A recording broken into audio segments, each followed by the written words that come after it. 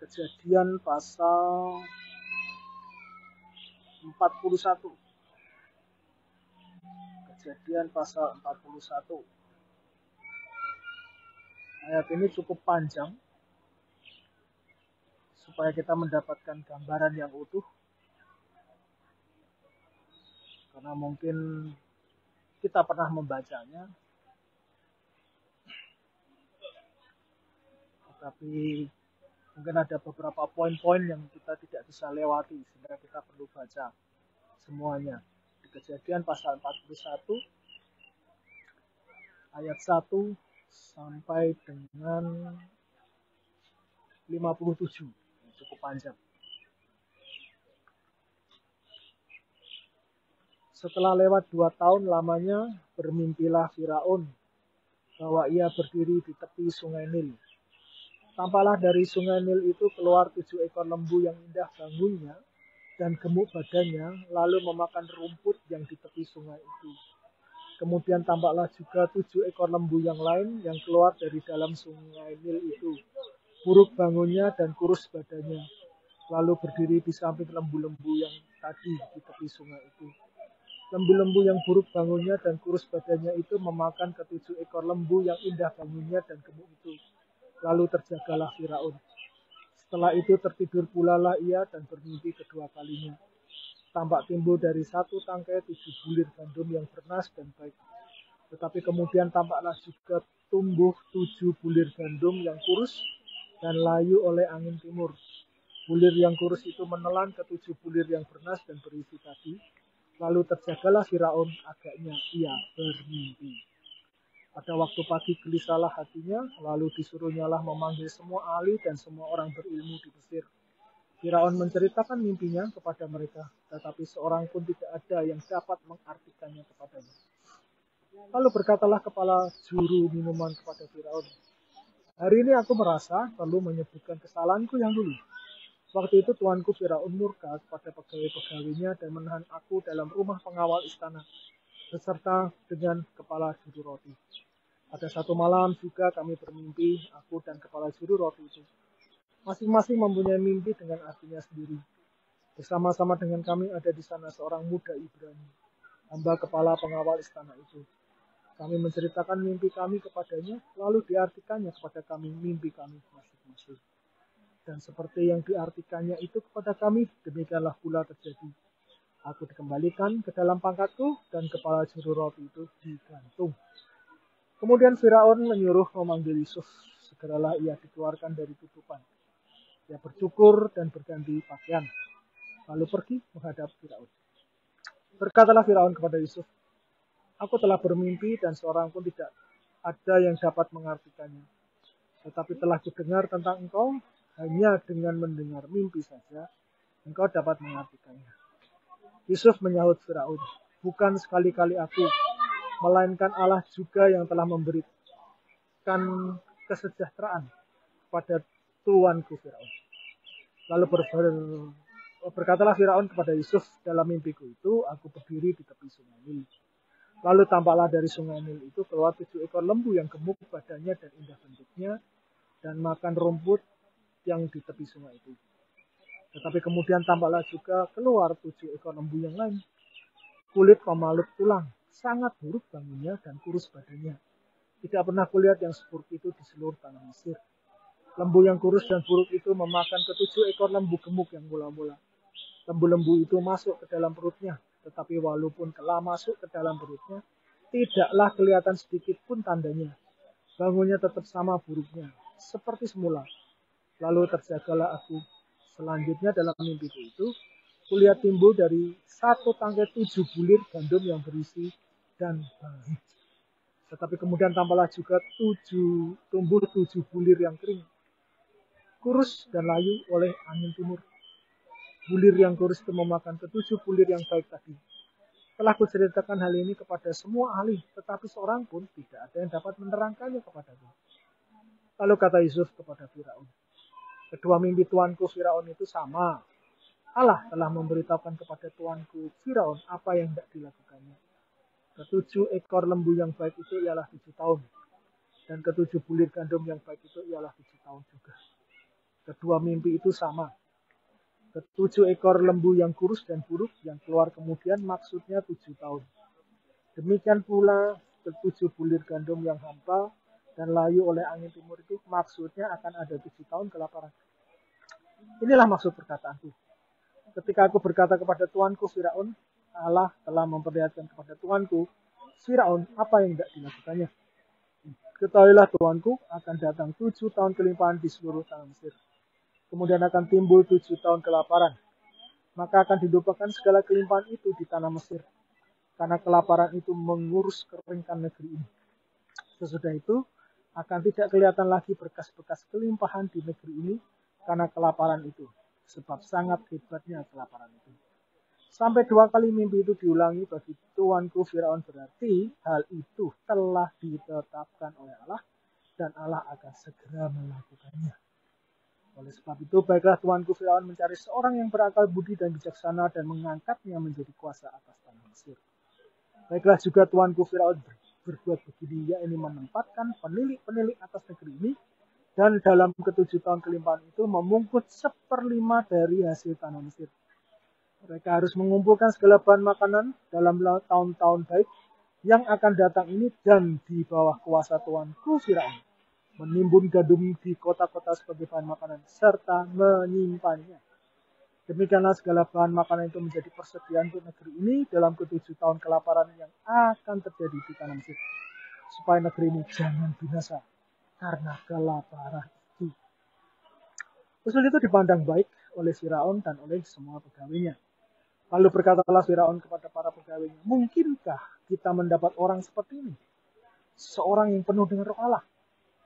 Kata Firaun kepada Yusuf, oleh karena Allah telah memberitahukan semuanya itu kepadamu. Tidaklah ada orang yang demikian berakal budi dan bijaksana seperti engkau.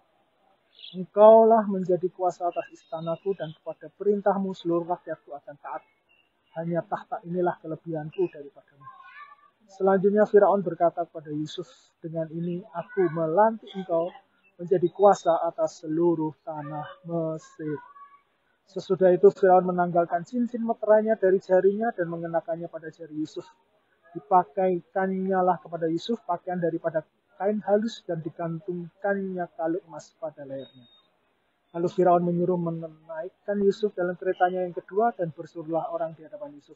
Hormat. Demikianlah Yusuf dilantik oleh Firaun menjadi kuasa atas seluruh tanah Mesir. Berkatalah Firaun kepada Yusuf, akulah Firaun.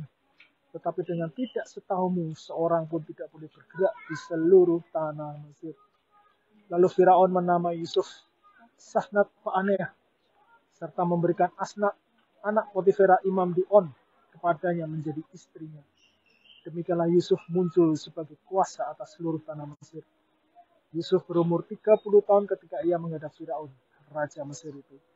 Maka pergilah Yusuf dari depan Firaun, lalu dikelilinginya seluruh tanah Mesir. Tanah itu mengeluarkan hasil bertumpuk-tumpuk dalam ketujuh tahun kelimpahan itu. Maka Yusuf mengumpulkan segala bahan makanan ketujuh tahun kelimpahan yang ada di tanah Mesir, lalu disimpannya di kota-kota. Hasil daerah sekitar tiap-tiap kota disimpan di dalam kota itu. Demikianlah Yusuf menimbun gandum seperti pasir di laut. Sangat banyak sehingga orang berhenti menghitungnya karena memang tidak terhitung. Sebelum datang tahun kelaparan itu lahirlah bagi Yusuf dua orang anak laki-laki yang dilahirkan oleh Asnat, anak Potifera Imam Dinon. Yusuf memberi nama Manasih kepada anak sulungnya itu sebab katanya, Allah telah membuat aku lupa sama sekali kepada kesukaranku dan kepada rumah bapakku. Dan kepada anaknya yang kedua diberinya nama Efraim, sebab katanya Allah membuat aku mendapat anak dalam negeri kesengsaraanku. Setelah lewat ketujuh tahun kelimpahan yang ada di tanah Mesir itu, mulailah datang tujuh tahun kelaparan.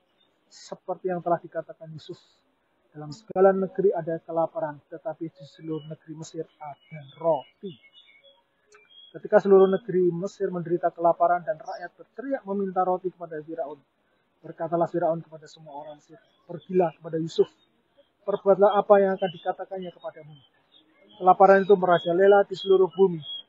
Maka Yusuf membuka segala lumbung dan menjual gandum kepada orang Mesir. Sebab makin hebat kelaparan itu di tanah Mesir. Juga dari seluruh bumi datanglah orang Mesir untuk membeli gandum dari Yusuf. Sebab hebat kelaparan itu di seluruh bumi. Haleluya. Berbahagialah kita semua yang mendengar firman Tuhan dan melakukannya dalam kehidupan sehari-hari. Kita sudah pernah membaca kejadian pasal 41 ayat 1 sampai dengan 57 dalam pembacaan kita mungkin setiap hari waktu kita membaca Alkitab ya. Atau mendengar khotbahnya atau mungkin kalau anak-anak sekolah minggu atau remaja atau pemuda kita mendengarnya ini di pertemuan-pertemuan sekolah minggu atau kaum muda. Bahkan juga sering uh, hal ini dibuat film ya tentang Yusuf. Nah, kan. Anda kalau mengingat film tentang Yusuf akan teringat itu. Bagaimana Yusuf yang luar biasa itu yang mengalami fitnah waktu di tanah Mesir ya, difitnah oleh istri apa eh, Potifar, kemudian dimasukkan dalam tahanan, kemudian dia bertemu dengan tahanan yang adalah juru roti dan juru minum raja dan mengartikan mimpinya dan kemudian dilupakan. Sekian waktu kemudian, eh Firaun ya setelah dua tahun lamanya jadi sejak kejadian yang terakhir tentang juru minum dan juru roti itu Firaun bermimpi juga bermimpi bahwa di sungai Nil itu keluar tujuh ekor lembu yang indah bangunnya dan gemuk badannya lalu memakan rumput yang di tepi sungai itu. Nah, kemudian tampak juga tujuh ekor lembu yang lain yang keluar dari dalam sungai Nil itu buruk bangunnya dan kurus badannya. Lalu berdiri di samping lembu-lembu yang tadi di tepi sungai itu. Lembu-lembu yang buruk itu bangunnya, yang kurus badannya itu memakan ketujuh ekor lembu yang indah bangunnya dan gemuk itu. Lalu terjagalah Firaun. Itu yang mimpi yang pertama. Mimpi yang kedua, hampir sama tetapi tentang bulir gandum. Ya. Situ ada satu tangkai tujuh bulir gandum. Di dalam satu tangkai itu ada tujuh bulir gandum yang bernas dan baik. Kemudian tampak juga tumbuh tujuh bulir gandum yang kurus dan layu oleh angin timur. Ya. Kemudian bulir yang kurus itu menelan ketujuh bulir yang bernas dan berisi tadi. Lalu Firaun terjaga lagi. Jadi Firaun ini mimpi dua kali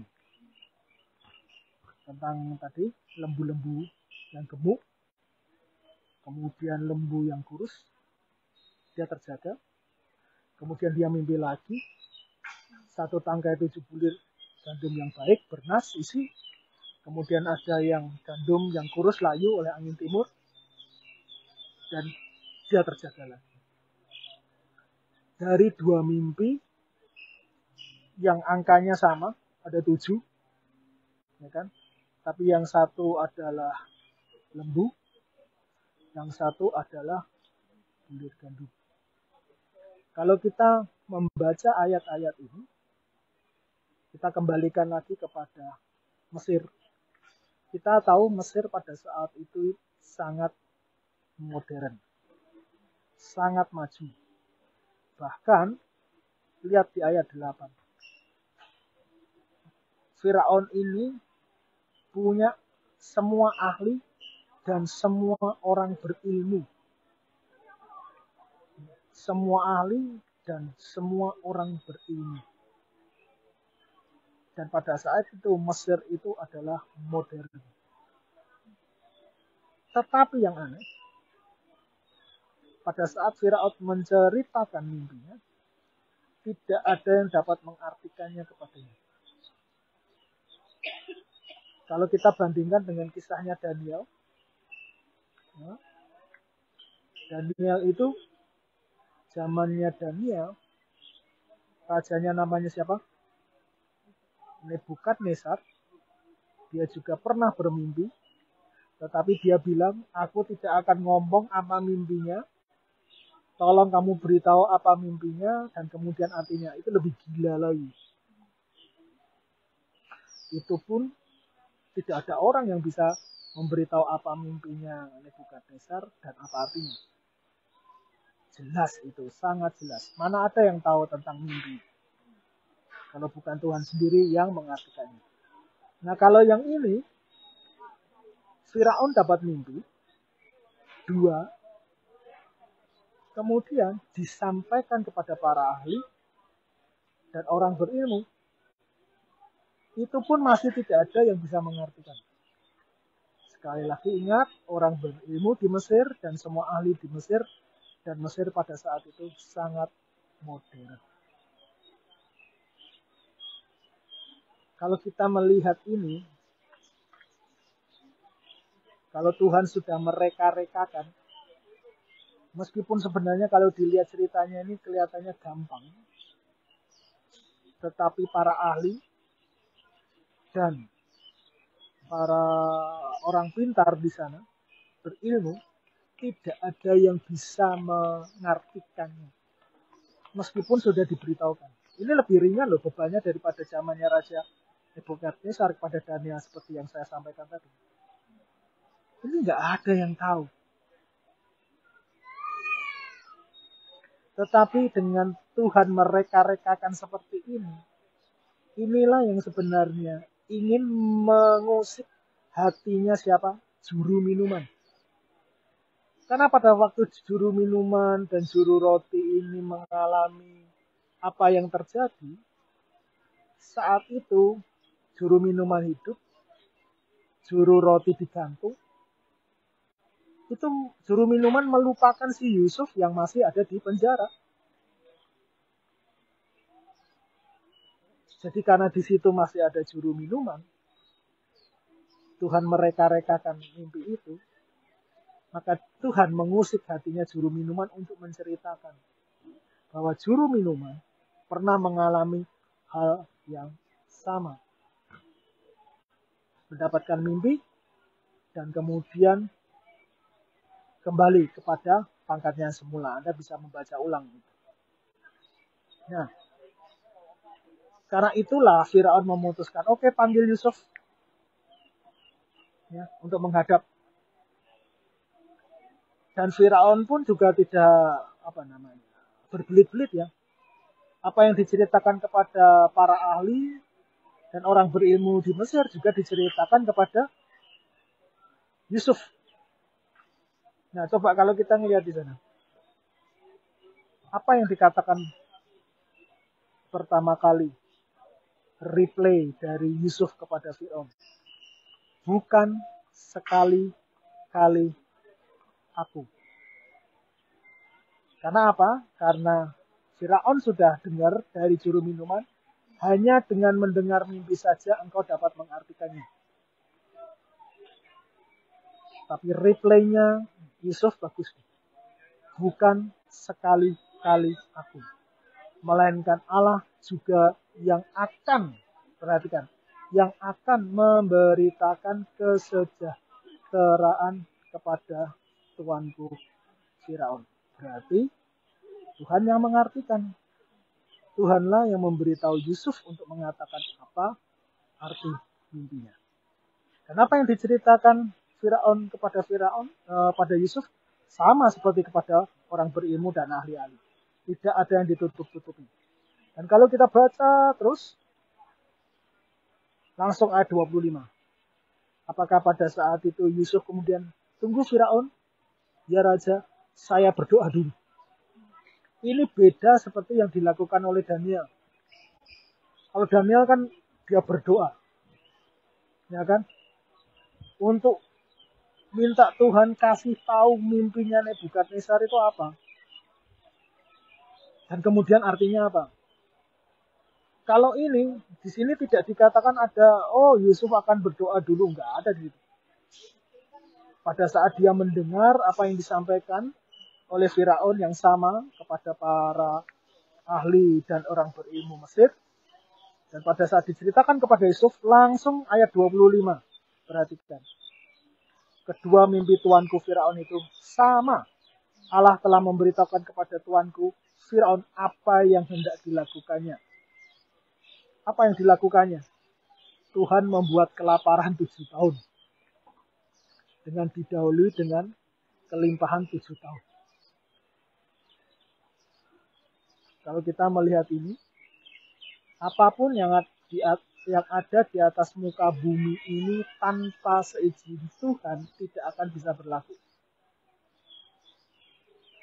Sejahat-jahatnya orang, seberdosa-berdosanya orang, ya, Tuhan masih kasih matahari, Tuhan masih kasih udara, Tuhan masih kasih apa? Hujan. Tuhan masih kasih minum. Memberi kesempatan untuk berbalik kepadanya. Dan itu yang terjadi. Tuhan sudah memberitakan kepada Tuhan Firaun apa yang hendak dilakukannya. Bahkan dikatakan ayat 28 lagi, diulangi sama lagi. Allah telah memperlihatkan kepada Tuhan Firaun apa yang hendak dilakukannya. Dan akan dilakukan Tuhan itu ngeri. Tujuh tahun kelimpahan dulu, baru kemudian tujuh tahun masa kelaparan. Dan kalau kita melihat di sana, ya, ayat 29. Ketahuilah Tuanku akan datang tujuh tahun kelimpahan di seluruh tanah Mesir. Perhatikan ya, tujuh tahun kelimpahan di seluruh tanah Mesir. Apakah hanya di tanah Mesir? Ternyata bukan. Memang kelimpahannya yang terjadi di tanah Mesir tapi kelaparannya perhatikan. Kemudian akan timbul tujuh tahun kelaparan. Di mana itu di Mesir? Bukan hanya di Mesir, karena di sana dikatakan bukan di Mesir. Yang kelimpahannya di Mesir, ya, tapi kelaparannya, perhatikan, maka akan dilupakan segala kelimpahan itu di tanah Mesir. Karena kelaparan itu mengurus keringkan negeri ini. Jadi akan diawali tanah yang kurus, kering, dan kelaparan itu di luar Mesir. Jadi Mesir itu kenaknya yang terakhir. Karena itu make sense, sangat masuk akal bahwa Israel, yaitu Yakub dan anak-anaknya, ke sebelas anaknya dan keluarga besarnya sampai harus datang ke Mesir untuk membeli gandum dan kebetulan membeli gandum dari siapa? Dari Yusuf. Anaknya Yakub. Anaknya Israel yang selama ini dikatakan hilang. Dan lihat ayat 31, sesudah itu akan tidak kelihatan lagi bekas-bekas kelimpahan di negeri ini karena kelaparan itu sebab sangat hebatnya kelaparan itu. Bahkan sampai di Mesirnya pun bekas-bekas kelimpahan itu nggak ada. Nah kalau dua kali ini mimpi disampaikan dalam bentuk tadi lembu dan juga bulir gandum, hal itu ditetapkan oleh Allah dan Allah akan segera melakukannya. Dari sini kita akan tarik kejadian hari-hari ini dan ke depan. Seperti beberapa waktu saya sudah sampaikan, tidak terpikir dulu adanya pandemi COVID. Tidak terpikir kemudian adanya perang antara Rusia dan Ukraina. Di mana Ukraina di backbone oleh NATO. Ya, tidak terpikir bahwa tension Korea Utara, Korea Selatan meningkat. Kemudian tidak terpikir juga bahwa di Taiwan Strait ya Strait yaitu selat Taiwan itu selat Cina di Cina Laut Selatan Laut Cina Selatan maksud saya itu terjadi seperti itu. Mana terpikir kan kemudian mana terpikir sekarang banyak-banyak usaha yang baru-baru ada PHK besar-besaran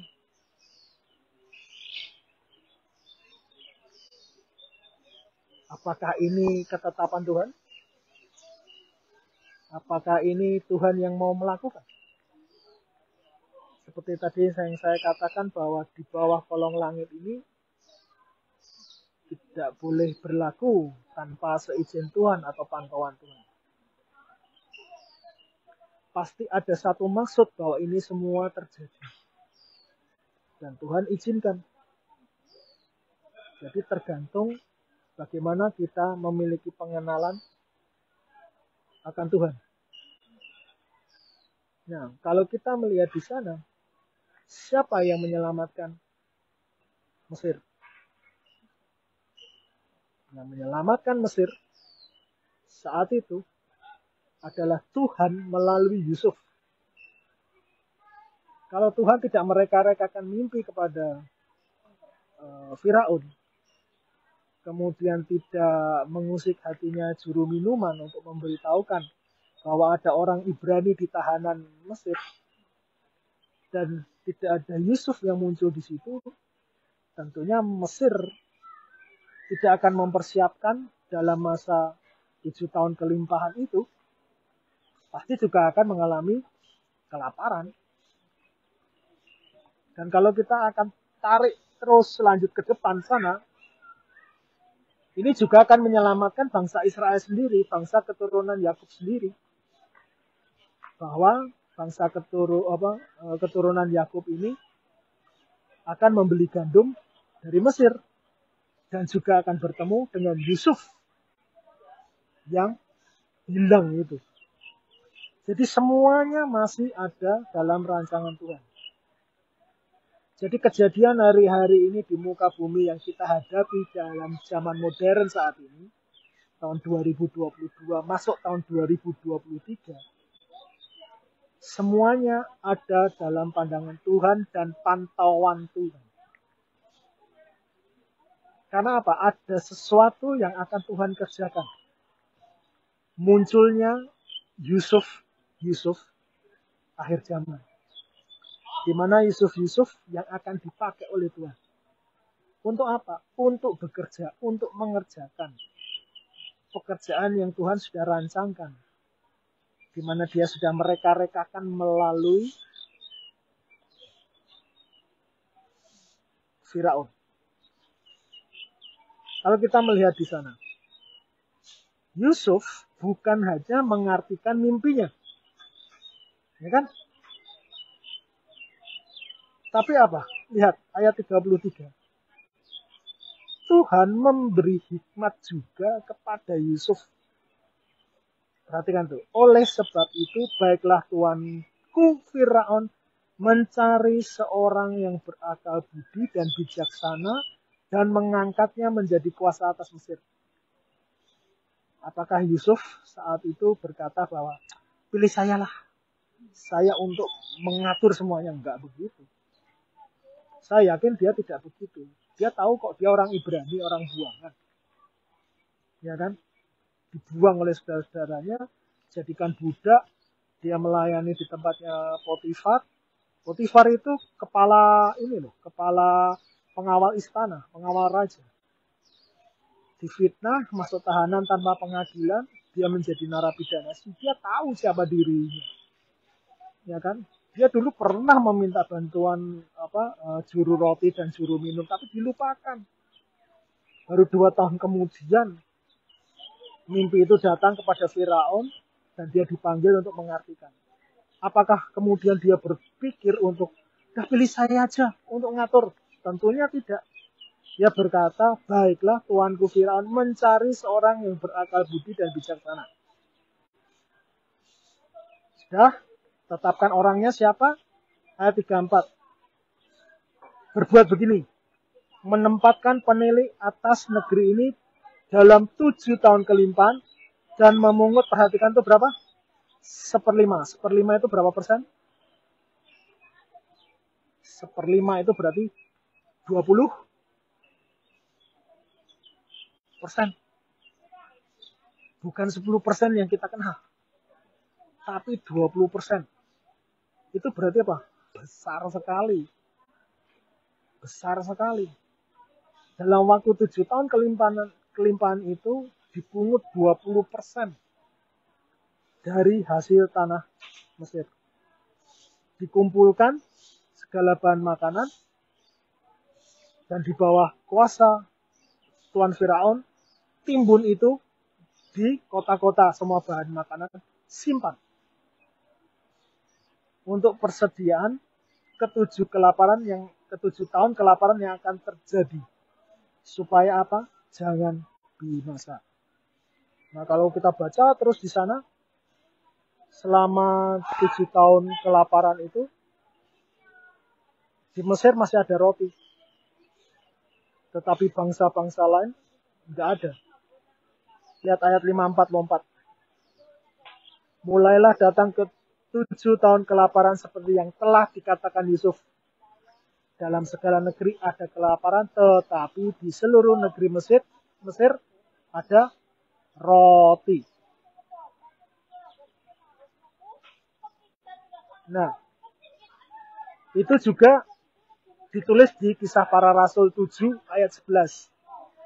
Di kisah para rasul 7 ayat 11 itu pernah disampaikan juga. Maka datanglah bahaya kelaparan menimpa seluruh tanah Mesir dan tanah Kanaan. Jadi seperti yang saya katakan tadi, kelaparan tidak hanya melanda Mesir, tetapi melanda sampai yang namanya Kanaan, jauh ke utara. Serta penderitaan yang besar sehingga nenek moyang. Itu siapa nenek moyang maksudnya? Israel. Yakub dan anak-anaknya tidak mendapat makanan. Mau tidak mau harus datang ke Mesir ketemu dengan Yusuf. Nah, akhir-akhir zaman ini, Tuhan sedang mencari orang-orang yang mengenal dia. Orang-orang yang bergantung kepada dia. Tuhan akan jadikan Yusuf-Yusuf akhir zaman. Yusuf-Yusuf tahun 2022-2023. Itu bisa generasi kita, bisa generasi X, Y, atau Z bukan hanya sekedar generasi milenial. Yang apa? Yang tahu dan kenal dengan Tuhan. Bukan hanya yang bisa mengartikan atau memberitahukan tentang mimpi atau nubuat, tetapi yang bisa bekerja.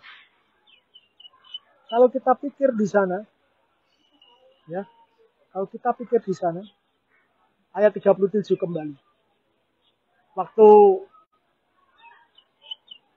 Yusuf berkata kepada Firaun, engkau tempatkan para penilik-penilik seluruh tanah Mesir, kemudian kumpulkan 20% dari setiap tanah Mesir. Ayat 37. Usul itu dipandang baik oleh Firaun dan oleh semua pegawainya. Jadi diakui oleh Firaun yang pinter itu, diakui oleh orang berilmu dan para ahli. Dan ayat 38 mungkinkah kita mendapat orang seperti ini, seorang yang penuh dengan apa? Roh Allah. Bahkan diakui oleh Firaun, oleh karena Allah telah memberitahukan semuanya ini kepadamu, tidaklah ada orang yang demikian berakal budi dan bijaksana seperti engkau. Engkaulah menjadi kuasa atas istanaku dan kepada perintahmu seluruh rakyat akan taat. Hanya tahta inilah kelebihanku daripadamu. Jadi seketika itu juga roh Allah Tuhan sendiri yang ada di dalam diri Yusuf diakui oleh Firaun dan oleh semua pegawainya. Dan cara-caranya itu juga diakui bahwa ini penuh dengan akal budi dan kebijaksanaan di dalam diri Yusuf. Sekarang bagaimana dengan kita? tahun 2023 yang dikatakan akan resesi sudah menjelang. Sekarang ada pada bulan November akhir. Tinggal satu bulan lagi. Apakah kita hanya berkutat dalam nubuat? Kita sudah tahu itu. Apakah berkutat dalam penglihatan karena sudah banyak penglihatan seperti itu? Apakah berkutat cukup mendengar khotbah-khotbah dan renungan karena sudah banyak yang berbicara tentang itu? Tapi apakah kita berani untuk dengan akal budi dan bijaksana kita mulai melangkah seperti Yusuf. Melangkah seperti Yusuf untuk mengumpulkan gandum. Memungut seperlima dari hasil tanah Mesir. Menempatkan penilik-penilik atas negeri. Menimbun gandum di kota-kota Apakah kita bisa melakukan itu? Lalu seperti apa ya yang bisa kita lakukan? Bagaimana dengan tabungan saudara dan saya? Kita punya tabungan nggak hari-hari ini? Kalau yang belum punya tabungan, mulai sekarang lah. Mumpung ini masih satu bulan. Stop dengan yang namanya pengeluaran. Ya. Yang lebih besar pasak daripada tiang. Ya. Mulai kalkulasi ulang. Apa yang perlu dibeli? Apakah itu kebutuhan Apakah itu kepentingan? Kalau itu kebutuhan, apakah itu kebutuhan dasar atau kebutuhan yang tidak mendasar? Asal ada sandang, pangan, papan, itu cukup. Nah, sekali lagi, asal ada sandang, pangan, papan, itu cukup. Nah, selebihnya itu adalah tidak mendasar.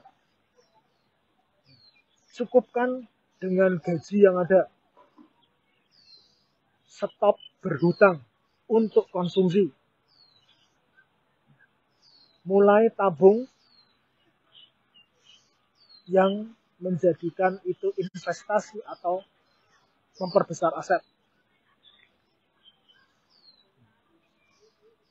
dan kita juga harus berani untuk tidak gengsi. Mungkin selama ini, wah aku gengsi kalau aku tidak memiliki pakaian baru untuk entah Natal, entah tahun baru, entah hari raya. Coba stop. Kalau memang benar-benar butuh, banyak itu yang namanya second hand. Ya, entah pakaian lah, entah elektronik lah, atau apa pun. Jangan gengsi. Kemudian kalau menyumbang, tidak ya, mungkin kan dalam masa resesi kita tidak menyumbang misalnya pernikahan lah, atau mungkin uh, warga lah, pertemuan warga dan lain sebagainya. Coba dikalkulasi ulang. Tidak ada yang kemudian akan mengolok-olok. Kenapa kamu akhirnya sekarang memberikan uang yang sedikit tidak seperti dulu kau memberi 100 ribu sekarang cuma 20 ribu apa 50 ribu jangan gengsi terus terang aja ya saya sedang mengatur uang keuangan saya mengatur ulang keuangan saya itu penting sekali jangan gengsi makan di tempat-tempat restoran coba kurangi mulai masak masakan di rumah. Bagi karyawan-karyawan kantor coba bawa apa namanya makanan dari rumah bekal. misalnya Anda yang mungkin tidak bisa lepas dari kopi misalnya, coba mulai dikurangi konsumsinya. Atau minuman-minuman yang mahal misalnya. Ya. Ganti dengan air putih. Bisa banyak hal kita bisa lakukan untuk melakukan penghematan.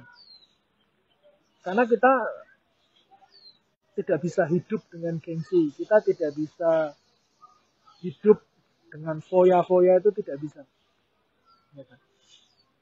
Kalau kita memiliki kelebihan, memiliki kelebihan, kita ingat itu juga bukan untuk diri kita sendiri. Itu juga untuk orang lain. Nanti lain waktu saya akan bahas hal ini. Ya kan? Karena Tuhan selalu berkata dengan kata apa? Cukup. Nah lalu kelimpahan yang selalu kita minta dalam doa itu kelimpahan itu untuk siapa? Untuk kita? Bukan. Kelimpahan itu adalah untuk orang lain atau saudara-saudara kita. Sedangkan kita sendiri cukup. Nah, lain waktu, kalau Tuhan izinkan, ini akan saya sampaikan. Jadi kembali lagi kepada Yusuf dan kita. Berkali-kali dikatakan bahwa Indonesia akan menjadi lumbung pangan dunia. Apakah kita sudah siap untuk menjadi lumbung pangan dunia? Sebelum kita menjadi lumbung pangan dunia, kita harus mulai dari diri kita sendiri. Kalau kita setia dari hal yang kecil untuk kita mengelola, bahkan itu mungkin harta benda bukan milik kita pribadi. Kalau kita akan setianya dengan itu semua, kita akan ditambahkan. Setelah akan ditambahkan, kita nanti akan dipercayakan dengan harta sendiri untuk kita. Kalau di dalam diri kita juga tidak cinta uang. Dan kalau dalam diri kita penuh dengan eh, kemurahan untuk menabur. Sehingga apa? Tuhan bisa tahu apakah anakku ini bisa dipercaya untuk seperti Yusuf memimpin, mengelola kelompok kecil, entah mungkin keluarga, kemudian keluarga besar, mungkin RT RW-nya, mungkin kampungnya, kelurahannya, kecamatannya, sampai dengan bangsa. Akhirnya sampai kepada bangsa-bangsa lain. Nah itu diawali dari bagaimana kita tergantung sama Tuhan dan bagaimana kita bereaksi dan bertindak. Jadi demikian apa yang boleh Tuhan sampaikan melalui rema dan ini saya sampaikan kepada saudara semua bahwa Tuhan mencari siapa yang mau dipakainya sebagai Yusuf Yusuf akhir zaman. Persiapkan diri kita ini dalam jangka yang sangat pendek untuk masuk ke 2023 karena tinggal satu bulan lagi. Mari kita uh, siap sedia sesegera mungkin karena kita tidak sampai dengan tujuh tahun kelimpahan. Kalau ada kelimpahan dalam diri kita saat ini mulai itu diatur dan mulai kita pikirkan untuk kita bisa melangkah bersama Tuhan di tahun-tahun mendatang. Resesi kita bisa lewati hanya bersama dengan Tuhan dan kasih karunia dan anugerahnya. Haleluya. Amin. Tuhan memberkati.